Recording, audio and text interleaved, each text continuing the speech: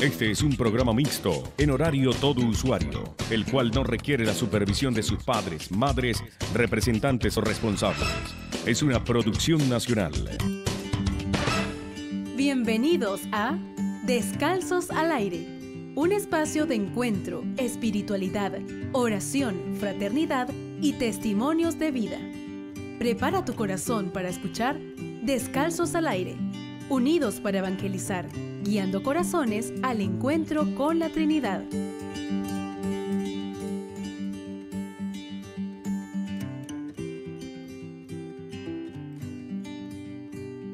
Bajo la bendición del Dios de Israel, con la protección del Espíritu Santo y la dirección de la Administradora Virgen María de Jerusalén, les damos la bienvenida a su programa Descalzos al Aire Gracias a las personas que nos sintonizan a través del dial 101.7 FM y en el norte del estado a través de la 95.7 FM.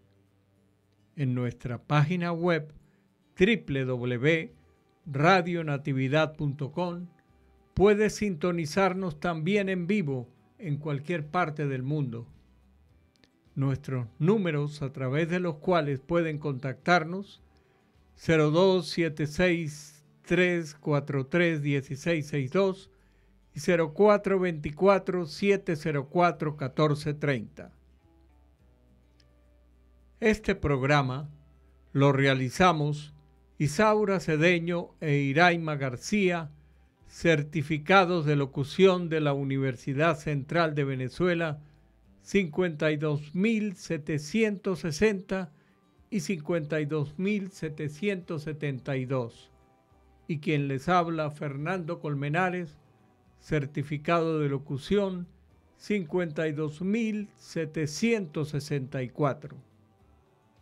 A cargo de los controles y la música, nuestro amigo Cristian, a quien agradecemos su trabajo me acompaña en el programa de hoy mi querida esposa María Cristina. Buenas tardes, Cristian. Buenas tardes, María Cristina. Buenas tardes. Muy buenas tardes a todos. Buenas tardes a todos. Dios mío, Trinidad que adoro, ayúdame a olvidarme de ti de mí, enteramente de mí mismo, para establecerme en ti, inmóvil y apacible, como si mi alma estuviera ya en la eternidad. Que nada pueda turbar mi paz, ni hacerme salir de ti mi inmutable, sino que cada minuto me lleve más lejos en la profundidad de tu misterio pacifica mi alma, haz de ella tu cielo, tu morada amada y el lugar de tu reposo. Que yo no te deje jamás solo en ella, sino que yo esté allí enteramente, totalmente despierta en mi fe, en adoración, entregada sin reservas a tu acción creadora. Amén. Amén. Oración de Santa Isabel de la Trinidad. El tema de hoy, Santa Mónica y San Agustín. El sábado y el domingo, hace dos días, celebramos la memoria de Santa Mónica y San Agustín, madre e hijo, ambos santos y la fiesta de Santa Mónica se celebra el día anterior a San Agustín porque Dios concedió a Santa Mónica el privilegio de ver la conversión de su esposo y de su hijo debido a las incesantes oraciones que ella realizó pidiendo a Dios por sus conversiones. En los próximos segmentos conoceremos cómo se desarrolló esa historia. Vamos a una pausa musical.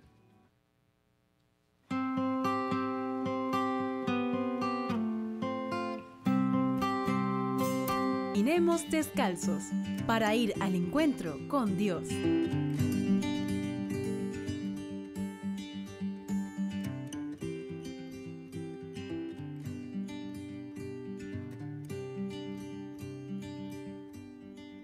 San Agustín vivió los momentos más importantes de su vida junto a su madre, Santa Mónica, como relata él mismo en las confesiones.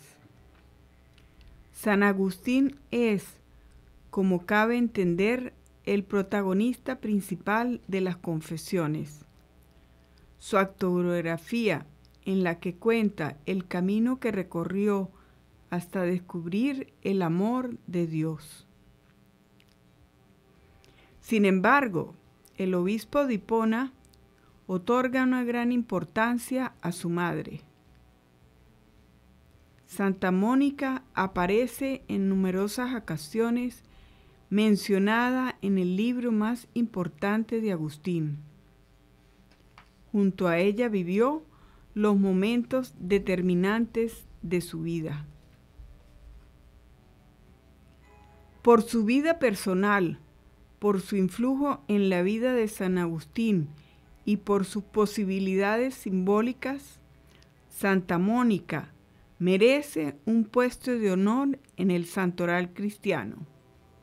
Su determinación, su interés de ánimo, su inteligencia, su amor materno y su fidelidad a la iglesia resultaron decisivos en la conversión religiosa de su hijo, uno de los mayores padres de la iglesia y figura destacada de la cultura occidental. Santa Mónica, madre de Agustín, nació en Tajaste, África del Norte, a unos 100 kilómetros de la ciudad de Cartago en el año 332. Sus padres encomendaron la formación de sus hijas a una mujer muy religiosa y estricta en disciplina. Ella no las dejaba tomar bebidas entre horas, aunque aquellas tierras son muy de clima caliente. Pues les decía, ahora, cada vez que tengan sed, van a tomar bebidas para calmarla. Y después que sean mayores y tengan las llaves de la pieza donde está el vino, tomarán licor y esto les hará mucho daño. Mónica le obedeció los primeros años, pero después, ya mayor, empezó a ir escondidas al depósito y cada vez que tenía sed, tomaba un vaso de vino.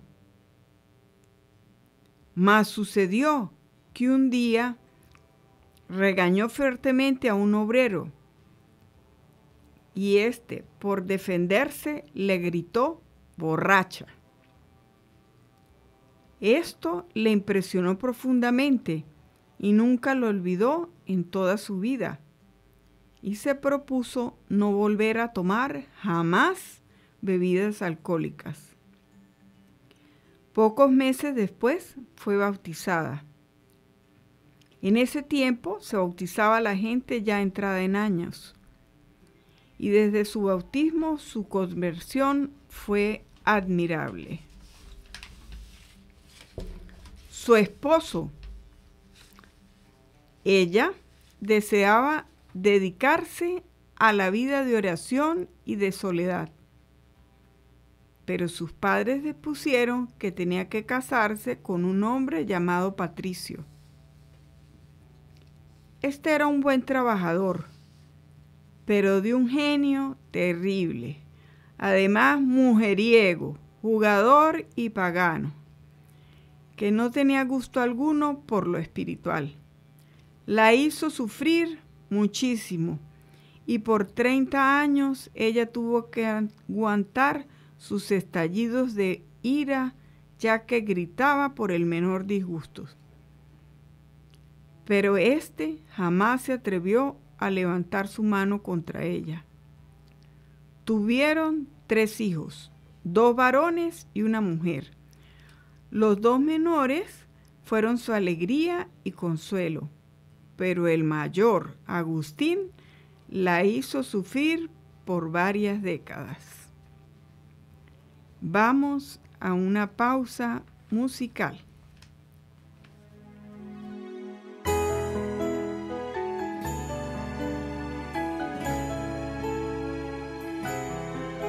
He ahí nuestra morada, nuestra casa, la casa paterna de donde no debemos salir nunca.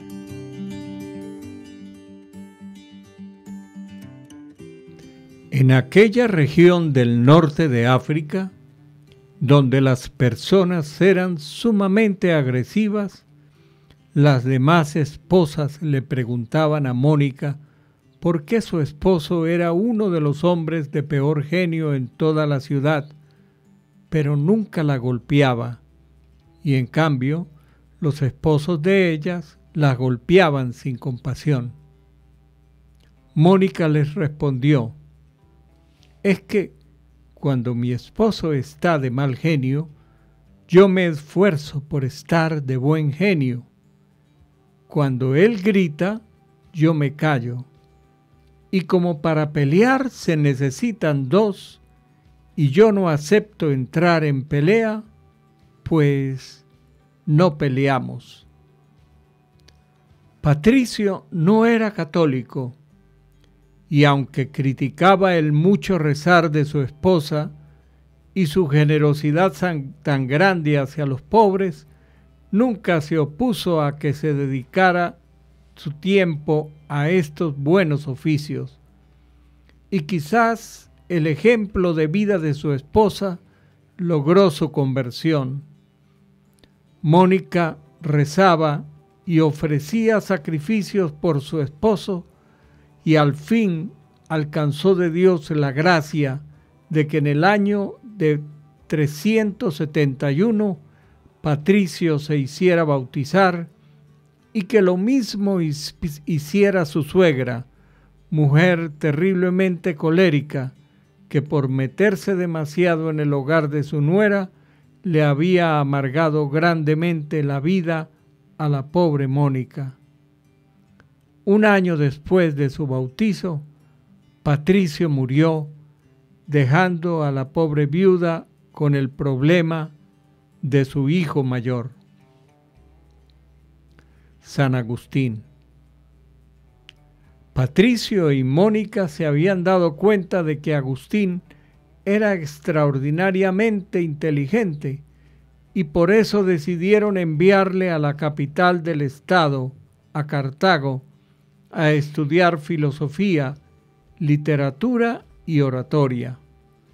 Pero a Patricio en aquella época solo le interesaba que Agustín sobresaliera en los estudios, fuera reconocido y celebrado socialmente y sobresaliese en los ejercicios físicos. Nada le importaba la vida espiritual o la falta de ella de su hijo y Agustín, ni corto ni perezoso, fue alejándose cada vez más de la fe y cayendo en mayores y peores pecados y errores. Cuando murió su padre, Agustín tenía 17 años y empezaron a llegarle a Mónica noticias cada vez más preocupantes del comportamiento de su hija, de su hijo. En una enfermedad, ante el temor a la muerte, Agustín se hizo instruir acerca de la religión y propuso hacerse católico, pero al ser sanado de la enfermedad, abandonó su propósito de hacerlo adoptó las creencias y prácticas de una secta, la maniquea, que afirmaban que el mundo no lo había hecho Dios sino el diablo.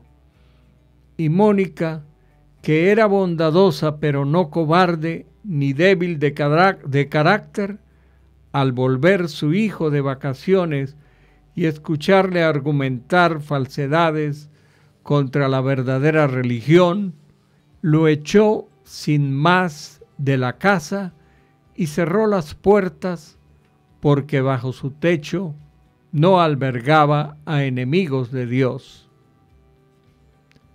Santa Mónica ora por San Agustín. Entre tanto, mi madre, escribe San Agustín, fiel sierva tuya, lloraba en tu presencia mucho más que las demás madres suelen llorar la muerte corporal de sus hijos, porque veía ella mi muerte con la fe y espíritu que había recibido de ti. Y tú la escuchaste, Señor, tú la escuchaste y no despreciaste sus lágrimas, que corriendo abundantes regaban el suelo allí donde hacía oración. Confesiones capítulo 3, verso 19. Vamos a una pausa musical.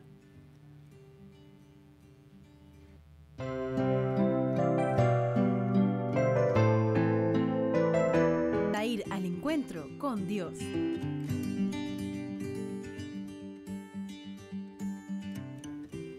La visión esperanzadora.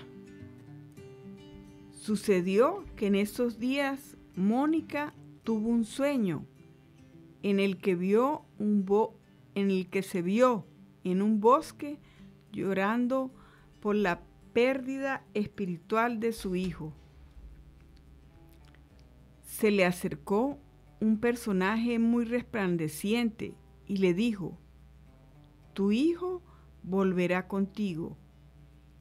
Y enseguida vio a Agustín junto a ella. Le narró a su hijo el sueño y él le dijo lleno de orgullo que eso significaba que se iba a volver maniquea, como él. A eso ella respondió, en el sueño no me dijeron la madre irá donde el hijo, sino el hijo volverá a la madre.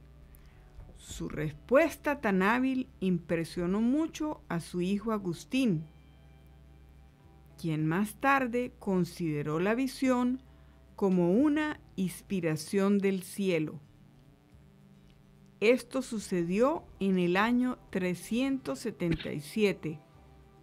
Aún faltaban nueve años para que Agustín se convirtiera. En cierta ocasión, Mónica contó a un obispo que llevaba años y años rezando, ofreciendo sacrificios y haciendo rezos a sacerdotes y amigos por la conversión de Agustín.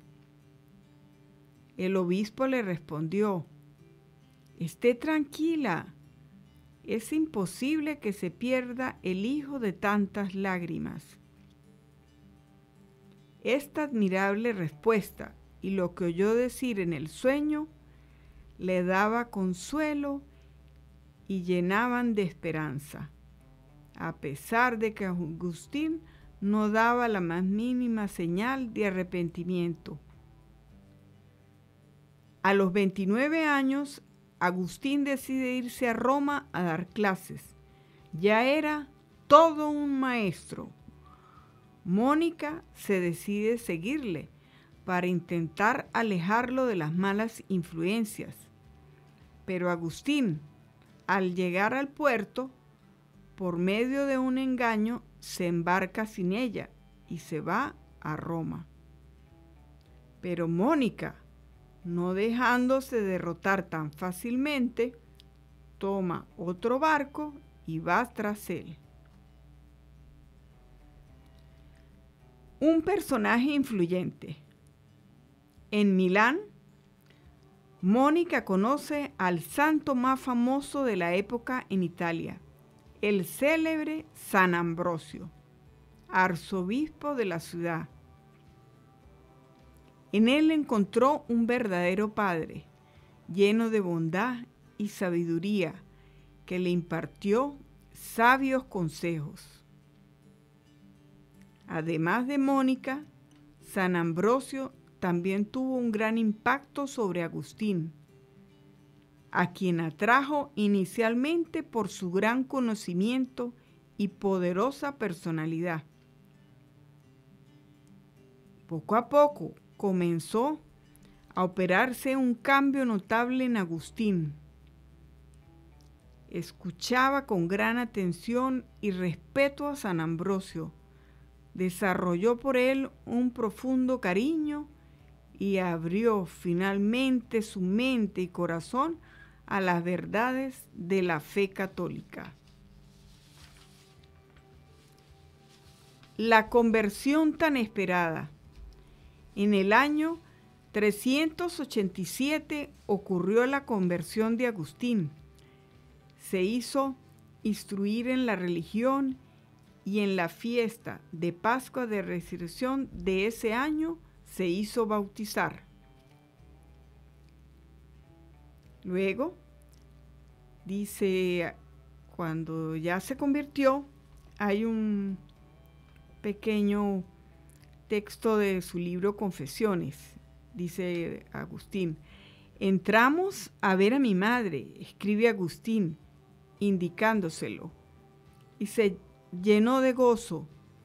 Le contamos el modo como había sucedido, y saltaba de alegría y cantaba victoria, por lo cual te bendecía a ti, que eres poderoso para darnos más de lo que pedimos o entendemos porque veía que le habías concedido respecto de mí mucho más de lo que constantemente te pedía con sollozos y lágrimas piadosas. Confesiones 8:30. Agustín, ya convertido, dispuso volver con su madre y hermano a su tierra en África y se fueron al puerto de Ostia a esperar el barco. Pero Mónica ya había conseguido todo lo que anhelaba en esta vida, que era ver la conversión de su hijo. Ya podía morir tranquila. Y sucedió que estando ahí en una casa junto al mar, mientras madre e hijo admiraban el cielo estrellado y platicaban sobre las alegrías venideras cuando llegaran al cielo, Mónica exclamó entusiasmada, ¿y a mí? ¿Qué más me amarra esta tierra? Ya he obtenido de Dios mi gran deseo, el verte cristiano.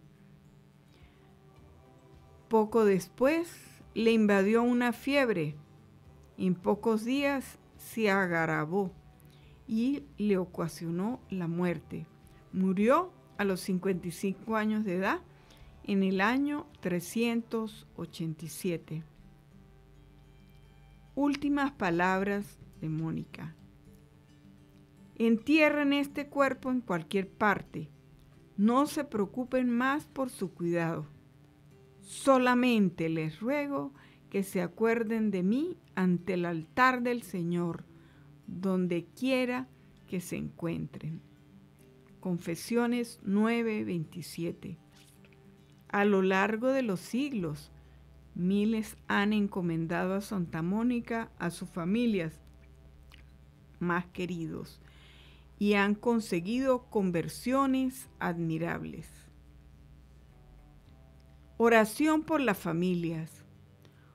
Oh Santa Mónica, que por medio de tu paciencia y plegarias obtuviste de Dios la conversión de tu marido y la gracia de vivir en paz con él, obtén para nosotros, te suplicamos, la bendición de Dios omnipotente para que la verdadera armonía y paz reinen en nuestras casas y que todos los miembros de nuestra familia puedan alcanzar la vida eterna. Amén. Vamos a una pausa musical.